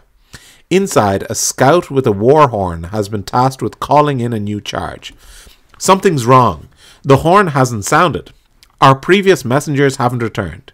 We need a warrior. Go now. The lunars are close, and we may and we may be overrun. You hear a howl just by the tent, and Kallyr jerks her head up. She rushes towards the sound, as do her bodyguards. You are left lying flat on the soil, catching your breath.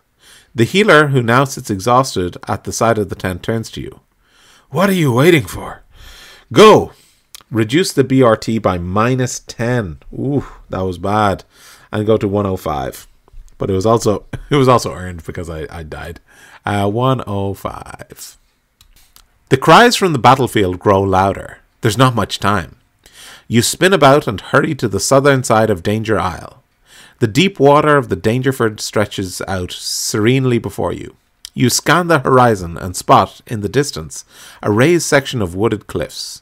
You know that this halfway point between Danger Isle and Dangerford village uh, hides the hidden signal camp, the all too critical cavalry horn.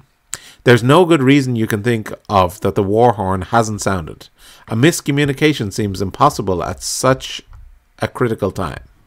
More likely, the camp is under attack. Your timely arrival could be critical.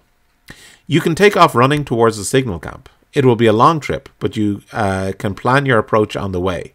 You could head straight for the gate or climb up the cliffs, approaching the signal camp from the rear. If the camp has been overrun, this could let you launch a separate attack. If Molon wasn't killed or wounded in combat, you can ride towards the signal camp. This will be faster and let you charge any opposition, but it, w- but it will limit your ability to use stealth. Um, I'm gonna go faster. I'm gonna go with Molon. One one four. The ride to the signal camp will take you only a few minutes. You mount Molon and spur him on the way on his way. With a rumbling growl, he shifts his enormous bulk, and you cut through the waters of the danger of the Dangerford like a knife. Halfway across the creek, you spot movement out of the corner of your eye. It appears a single lunar rider has split away from the group and is moving quickly towards you. You don't know what they're doing so far from the fighting. The rider spots you moving across the creek and moves to intercept you. You don't have time to get caught up in battle. You urge your bison on and try to outpace the lunar rider. Make an opposed ride roll against the lunar opponent's 50% roll. If you get a better success, go to 115. If you roll the same success or worse, go to 116. So again, I'm just going to use these. The top one is going to be me and the bottom one is them. So they failed because they had 50 um, and they got a 69, whereas I got a 61 and my ride bison is 70. So I succeeded and they failed. So I, I rolled a better success, so I'll go to 115. Bit by bit, you edge further and further away from the lunar rider. After a minute or two of hard riding, he sees that the pursuit is hopeless. He wheels his horse around and gallops away, moving back uh, towards the battlefield. You focus on the path ahead. Uh, in the distance, you can see the rising shape of the wooded cliffs jutting out from the ground like a tooth. You know those woods hide the signal camp. You spur Molon forward. Not long now.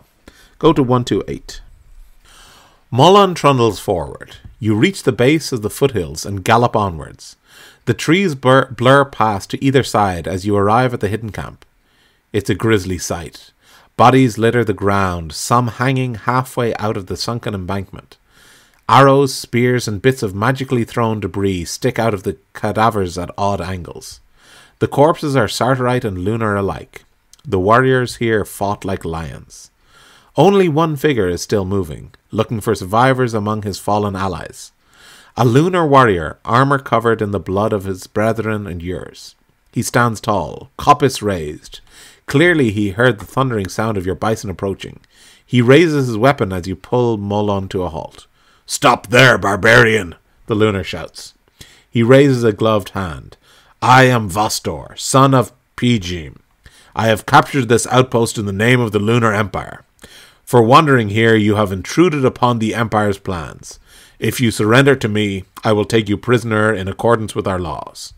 If you refuse, then I challenge you to a duel. Show honor. Dismount your bison. Give me your name and your answer. You hesitate before your answer. As dishonorable as it would be, you could just run this lunar down now. A single charge might make all the difference.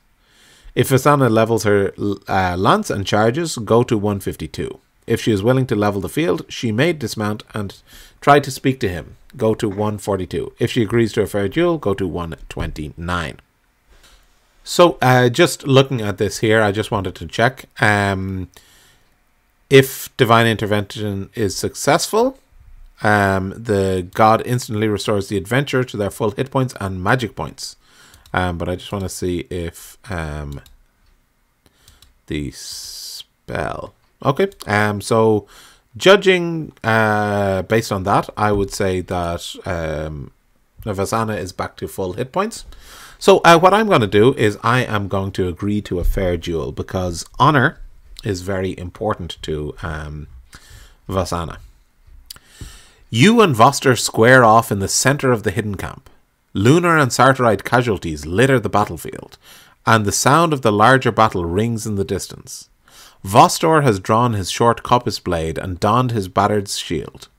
His armor is dented from the previous battle, and you can see bloody bandages peeking out from under his clothes.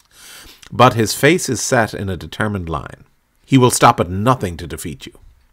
If Vostor wins the duel, the reinforcements will not arrive in time. But if you can force him to yield, you can sound the horn and you may still sway the battle. You each let out a pealing battle cry, run forward, and clash in the center of the camp. Vasana has promised a fair duel. You may increase her honor by plus 1d4. So uh, I'll just roll that very quickly. Uh, 1d4. 1. okay, that's fine. Um, so I'll just see where is honor. Honor is over here. So that's now going to be a 71. But it was good. Now I don't tick the box because I didn't make an honor roll. But uh, going back here, Uh, Vasana may attempt to draw inspiration from her honor passion.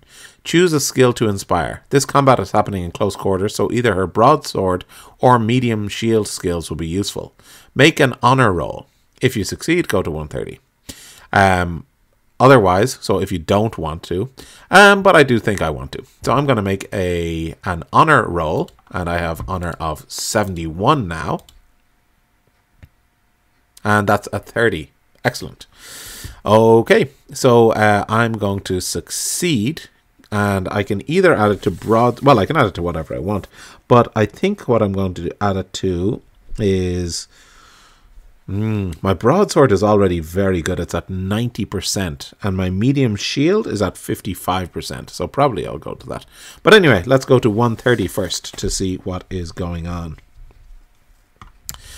Victory can be snatched and defeat avoided by those who are willing to disgrace themselves, but there is only empty joy in unworthy success, and the pain from defeat held back with lies stings all the more. Honour is a constant.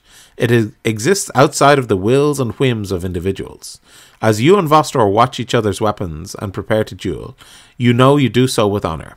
You raise your weapons once, a mark of respect, then step forward. If you rolled a success, you may increase Vasana's chosen ability by 20% for the duel's duration. If you rolled a special success, which I didn't, so that's fine, um, the scenario will note when the effects of the inspiration fades. Go to 133. So I'm going to add uh, plus 20 to her shield, making her shield 75 now. You circle one another, each looking for an opening, an opportunity to strike. Every tiny mo- a movement could betray the opening that could win the battle.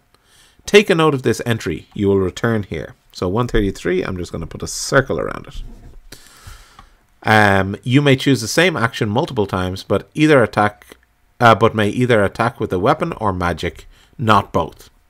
When Vasana completes up to three of the following actions, go to 139. Attack with her broadsword, um, call lightning with one plus rune points, she cannot uh, both attack with her sword and cast an attack spell, however. Cast shield with 1 plus rune points. Cast heal wounds with 1 rune point and additional magic points. So uh, I'm definitely going to. Um, when Vasana completes up to 3 of the following actions. Okay, well, I'm going to attack with a, broadsword sword first. So I'm going to go 134. Vostor and you swing at each other, clashing blades time and again. Vasana attacks with her broadsword, and Vostor attacks with his kopis. Vostor's strike rank is 6, lower than Vasana's 7, so he attacks first. First, choose to either parry or dodge. Roll um, Vostor's kopis attack and contested with her broadsword or medium sword. If she is parrying or her dodge, uh, sorry, and contested with her broadsword or medium shield if she is parrying, or her dodge if dodging. If Vostor connects, he deals 1d8 plus 1, plus 1d4, uh, blah, blah, blah, um, ignoring armor on a critical. If Vasana's par- parry is successful, reduce the damage by her weapon or her shield's health. Any overwhelming damage is then applied. Um, okay, and then it'll be my turn to attack. So first, um, will I dodge or will I parry? So um, maybe parrying with my uh, broadsword is the best idea, I think. But what's my dodge like? Ooh, my dodge is very bad. So I think I'm going to be parrying. So, um... Yes, let's see. If you roll a better success than Vostor, uh, Vasana deflects the blow completely and can roll to damage his kopis. Otherwise, her weapons may be damaged.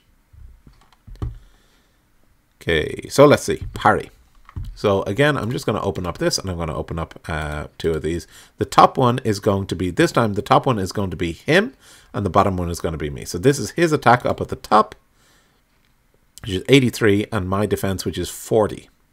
So um, Vostor, instead of scrolling through because I have it printed out here, his attack with his kopis is he has 80 and he rolled an 83. So he failed. So I actually don't have to do anything. So um, I got he got a failed attack versus a normal parry. So attacker parried or deflected. Defender rolls parrying weapons normal damage. Attacking weapons HP reduced by 1 HP if damage over its current HP. So basically, I'm going to be damaging potentially his uh, weapon. So I'm going to roll my normal damage that I would on my broadsword, which is 1d8 plus 1 plus 1d4. So I think it's the same as this. I'm just going to clear all of these. So I'm going to be rolling 1d8 plus 1 plus 1d4. So I'm going to roll these now. And I get an 11 plus 1. So that's 12. Now, his... Um, and I'll just show you here. Um, his uh, points here are also 12. This is this is Vasana, but his hit points are also 12. So uh, attacking weapons hit points reduced by 1 if damage over its current HP. So I hit exactly the current HP on his weapon. Uh, so there's no damage done. If Vasana is killed by the attack, that's fine. That's fine. Nothing happened to her. Vostor always chooses to parry with his kopis unless he is unable to. Roll Vasana's broadsword attack and contest it with his kopis roll. So now I'm going to go back here. And again, I'll be on the top this time because I'm doing the attacking and his parry is going to be on the bottom. I would love to take that, but that's not how I do it. I always put them up and then roll. So my attack is 52 and his parry is 89. So um, my one is a regular success and his one is a failure. So again, we'll just look at that um, table here as well. A normal attack versus a failed parry. Uh, normal, uh, sorry, the attacker rolls normal damage and the defender takes damage. So that's fairly straightforward there. So just going back to that now, um, we'll have my normal damage, which is 1d8, um, plus 1 plus 1d4. So again, I'll put them up and then roll them. And so that's going to be 9. So 9 damage is going to go to uh, Vostor, but I think I have to figure out where it's going to go. So he has 16 points in total anyway, and I did just do 9 points to him. So um, his total score anyway is going to go down to 7. And I will roll a 1d20 just in case I'm supposed to do that. It's a little bit unclear here. Uh, 14. So again, looking at this table here, 14 is going to do damage to his right arm. Um, and looking at this, oh, sorry, sorry, sorry. Um, he has armor on everything as well. So nine points are going to go. This is this is where it gets just a little bit confusing when you're doing it for the first time. I'm going to hit his right arm for nine points. Okay, so his he has six HP, six armor points and five hit points. So six are going to be deflected, and his right arm goes down to down by three. Yes. So his right arm is down to just two hit points and his 16 hit points go down to 13, not to 7. Okay, go to 133. So we're going to go back here again. And again, you get to do up to three movements. So I'm going to do the exact same thing again. So uh, let's go back and let's have him attack first again. So again, his results will be on the top and mine will be on the bottom. And I always put them up and then roll. So his attack is a 2. Wow. And mine is a 13. So that is not great news for me. Um, so I just want to check if is 80 divided by 20 is a 4. So yeah, he's definitely getting his critical attack. Um, and my 90 divided by 5 is an 18. I am getting my special parry. So let's have a look at what happens here, but I don't think it's good for me. So he got a critical attack versus special parry. Attacker rolls special damage. Defender, parrying weapon takes 1 HP damage if rolled damage is greater than its current HP. Any excess damage goes to adjacent hit location with no armor protection. Okay, so that's actually not terrible. Okay, so he's going to do special damage, not critical damage. And um, again, if you look here, if I had failed the parry, does maximum special damage. Um, but that's not what happened. So he's going to do 2d8 plus 2 plus 1d4. 2d8 plus 2 plus 1d4. Oops, sorry. Do So 2d8 plus 2 plus 1d4. So put them up and then roll them. Um, so that's 7 plus 2, right? Uh, 7 plus 2. Okay, so that does 9 damage. Um, but I'm going to critical attack. Parrying weapon takes 1 HP if rolled damage is greater than its current HP. Any excess damage goes to adjacent hit location with no armor protection. But um, I uh, my weapon has 12 hit points, so it's okay. Yep. Okay, so actually no damage there. So now um, it's going to switch around and it's going to be my turn to attack. So again, my ones will be the ones on top and his ones on bottom. And I get a 9 and he gets a 91. Okay, so a 9 is going to be a special attack versus a fail. So let's have a look what that does. Special attack here versus a failed parry. Attacker rolls special damage and defender takes damage. So this is just going to go straight through to him not be parried by his weapon. So um, what I'm going to look at here is my special damage, which should be the same as him, is 2d8 plus 2 plus 1d4. 2d8 plus 2 plus 1d4. Roll them. And it's going to be 14 damage plus 2, so 16 damage. And it's going to go to his 11. Uh, so again, to his 11 is going to be his abdomen. Okay. So it was 16 damage, was it? Um, that. Uh, 16 damage, yes, total. 16 damage. And it's going to his abdomen. Uh, so, first of all, he removes 5 points from that. Um, but then he takes uh, 11 points to both his. So he's now down to two hit points, and his abdomen is done. So let's just see what happens here.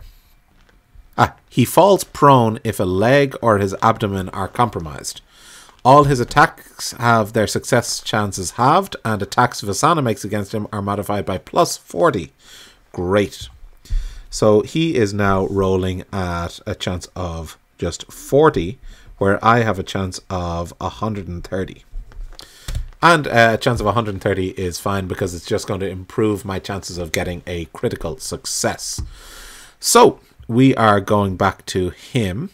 So uh, here we can see uh, if the abdomen uh, is exceeded, the the character drops to the ground but can continue to fight, but they will bleed to death if not healed or treated with first aid within 10 minutes. So that's fine. So he's going to keep fighting anyway. Um, and let's go back to 133 again, because that's where we're going. And again, I'm going to just attack with the broadsword because he's really he's down, and I'm gonna I'm gonna take him down. So again, let's have the uh, battle coming up, and let's roll. So his attack is on top, and my parry is down below. So he fails terribly, and I because I have 130, let me just check this very quickly. So 130 uh, divided by 5, 26, that's going to do it. Yep.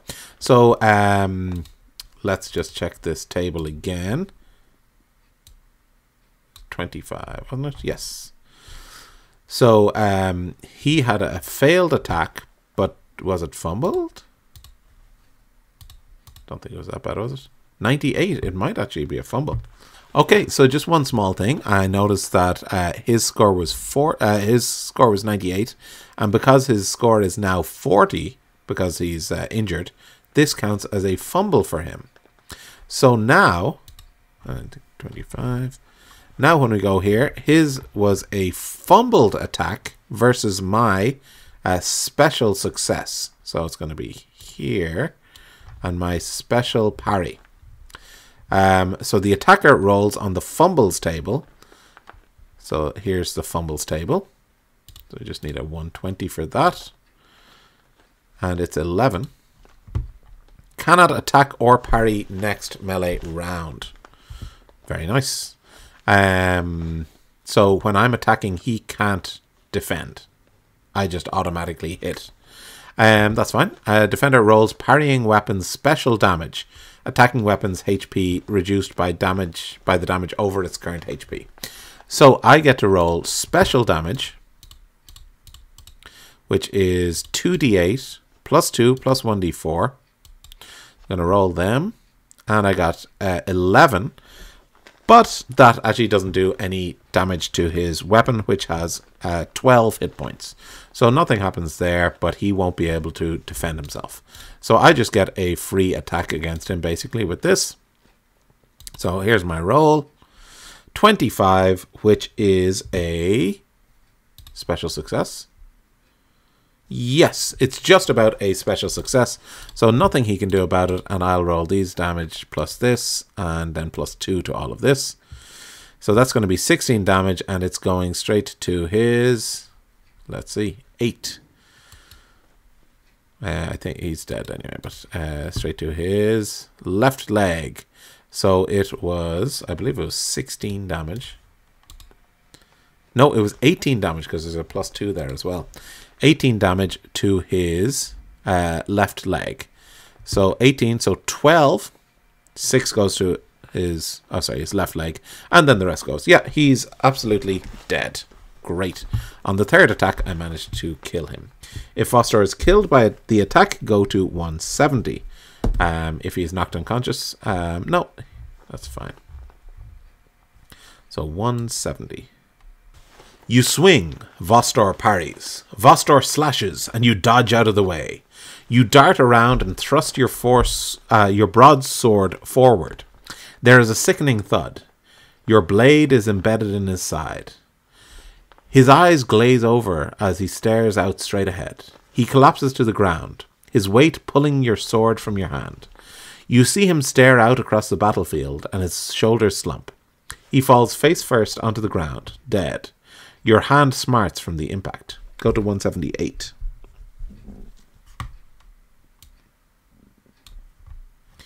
You stagger away and frantically search for the camp search the camp for the signal horn.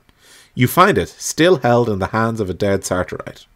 You take the horn in one hand and clamber up to the side of the embankment. Though exhausted, you raise it high and blow into it with all your might. The clear tone reverberates in your ears and carries loudly through the air. You blow for as long as you can, then, when your breath fails you, you let it drop to the ground. You collapse against the nearby embankment wall and gaze out towards the village. Go to 179. Silence. Just silence. You watch the distant shape of Dangerford village and you wait. A few heart stopping moments go by before, at last, you hear a horn sound in response. Moments later, dark shapes pour out of the village towards the Dangerford. You let yourself sag, relieved. From this position, you watch as the reinforcements sweep into the river and rout the enemy. You see the lunar infantry notice the approaching riders, then frantically turn to resist them, but to no avail. The Sartarite horde smashes into the overexposed lunars, and with blood, bronze, and fury, drives them from the Dangerford. You gaze open mouthed at the mayhem. When at last the lunar line begins its retreat proper, you stagger down from the signal camp and make your way back towards Dangerford, uh, towards Danger Isle. Increase the uh, BRT by plus 20. Go to 194. The battle is over. The sound of clashing metal has faded, and the sounds of wounded soldiers now echo in the air. Although you are only a single warrior on the field, your impact was significant. Calculate the final BRT. If the result is less than 10, go to 195. If it is less than or equal to 20, go to 196. If it is greater than 20, go to 197. If it is greater than 40, go to 198. So I'll just calculate it here on screen. It's very simple, but just so you can see the actual uh, numbers that went in. So I started off with a minus 2, not great. Then I got a plus 5 and a plus 5 and a plus 5. Then I got a minus 10 for dying and a plus 20 for uh, summoning the warriors. Okay, so um, I got a good score, but not the best score. So 197 is going to be presumably my final entry. The lunar forces were overwhelmed by the fury of the Sartarite assault. Fazzur Wideread managed to order a full retreat before the Lunars suffered catastrophic losses, but he was harried and pursued all the way to the borders of the land. The Lunars will return, but they will need to be more cautious. They have tasted the bite of Sartar. Already legends spread through the land like wildfire. The Lunars can be beaten. When you return to Danger Isle, you see groups of exhausted warriors in jubilant celebration. You join with them and cheer. That night, torches dance like fireflies across the Dangerford, while high above the gods look down. They have blessed Sartar and you this day. Now, in all the days that follow, you must continue the fight and do them proud. Go to 199. Congratulations, you have reached the end of the Battle of Dangerford. This first step into Glorantha is only the beginning of your journey. After the Battle of Dangerford, Kallyr Starbrow and her companions continue on towards Boldhome, where the assembled tribes grant her the title of Prince of Sartar. Others of the Sartarite army make their way towards make their way south to Jonstown to fortify against the possibility of a lunar counterattack. What perils face Sartar, the Lunar Empire, and the rest of Glorantha now? That is for you to decide. Those interested in following the story of Vasana can look to the introductory scenario included in the RuneQuest starter set. This adventure joins Vasana and her companions as they arrive in Jonstown just after the battle. If Vasana is captured, then perhaps a clever game master might give her a chance to organize an escape. Remember that your Glorantha will vary. Whether your journey in Glorantha takes you deeper into Sartar or across the width and breadth of the land, remember you can always return to this adventure to familiarize yourself with the rules, unlock different endings, or find hidden secrets. If Vasana survived the battle, you may see if she has learned from experience, potentially increasing the abilities and runes she used successfully. May the gods of storm and thunder protect you all. Okay, so that is where the adventure ends. Uh, I think it is a fantastic starter set, and if I compare this to, say, uh, the Call of Cthulhu starter set, I think that this one is more essential. I I love the Call of Cthulhu Alone Against the Flames, one of my favorite adventures. Such a great introduction to it. Um, and I think it's a little bit more straightforward than and a little bit more accessible than this. But that is probably because RuneQuest is more complex, in my opinion, than Call of Cthulhu. Uh, there are a lot more rules, a lot more crunch in RuneQuest. So going through this starter set, rather than like learning all the rules, I was going through and only checking the rules as necessary to progress the story. Now that I've played this, I feel like uh, I have played this before, but it was about a year ago, um, and I had forgotten most of it. Um, but now that I've played through this, I feel like I have a good basis for the rules. Now, if I go back and read the quick start rules, the key rules, I feel like I'll have a bit of a grounding. I'll understand what things mean a lot more. There were some aspects that I didn't go through this time. For example, I didn't use any rune magic, but that was mostly my choice because I wanted to uh, defeat, what was his name, Vostor. Um, so possibly, had I wanted to um, expand it a little bit more, be a bit more adventurous, I would have picked up some more rules. But that's how it goes. I think I was a little bit humbled by being killed the first time that I wanted to just make sure that I got to to uh, blow the horn and call in the cavalry. So that is uh, the end of the solo quest. Anyway, uh, I'm sure if you played through it, you probably had a different experience. This was quite different from the first time I played it.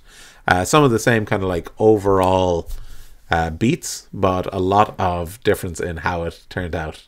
I hadn't died in the first one. Okay, so that is all for today. Uh, if you've played it, uh, let me know how it went down below, and I will see you next time. Okay, bye.